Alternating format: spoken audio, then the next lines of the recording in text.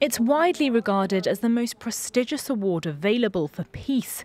And this year it's been awarded to Denis Mukwege and Nadia Murad for their efforts to end the use of sexual violence as a weapon of war.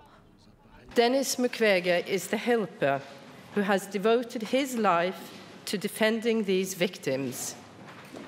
Nadia Murad is the witness who tells of the abuses perpetrated against herself and others.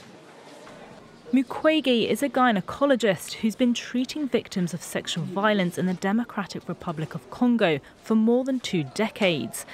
Known as Dr. Miracle, the 63 year old is an outspoken critic of the abuse of women in war and has repeatedly accused the world of failing to act.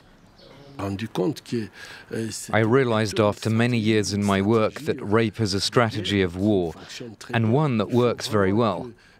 I think today everyone's attention should be drawn to this issue because we're talking about the total destruction of our social fabric, and that is unacceptable.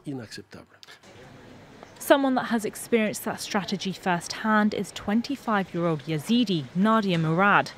She was held captive by the Islamic State in Mosul where she was repeatedly gang raped, tortured, and beaten.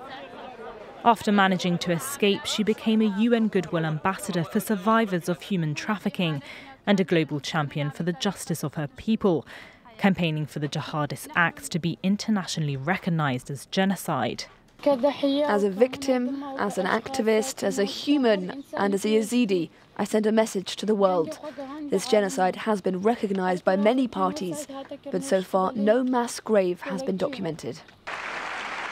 The prize will be presented in Oslo on December 10th.